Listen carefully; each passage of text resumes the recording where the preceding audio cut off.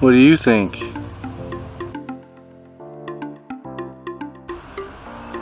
I'm voting poop. It's very neatly deposited though.